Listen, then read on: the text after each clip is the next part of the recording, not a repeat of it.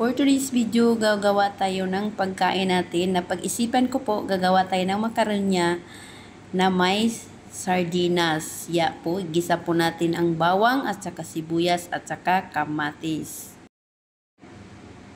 Yan na po, hintayin na po natin na ma-resiko po ang lahat ng ating kasa mga ginisa. Tapos po, ilagay na po natin ang sardinas.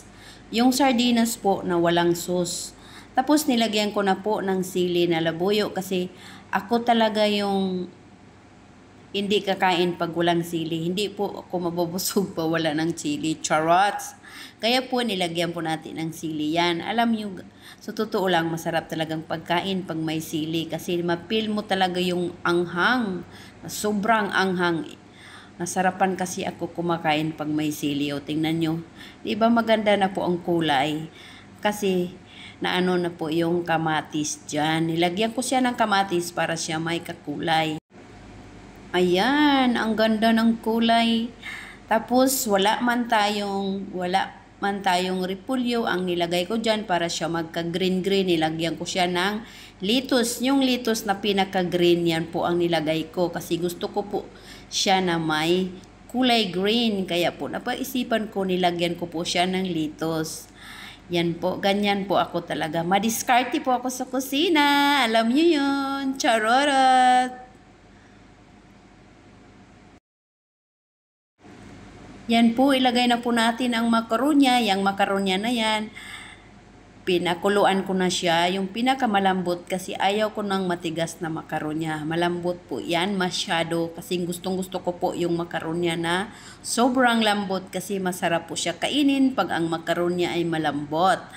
Ha, di nyo ba alam yan? Kaya pag kayo nagluluto ng makaronya, lambutan nyo na na para masarapan kayong kumain, para naman masarap ang pagkain natin.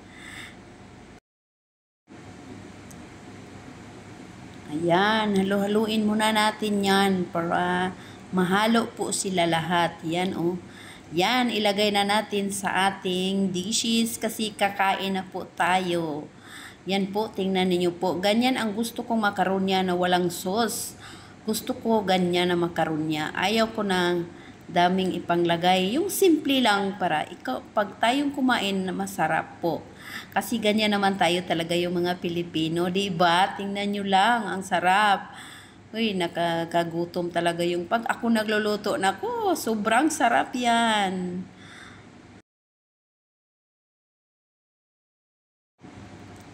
Yan na po, tingnan nyo lang. Oh, 'di ba? Ang sarap ng ating makarunya.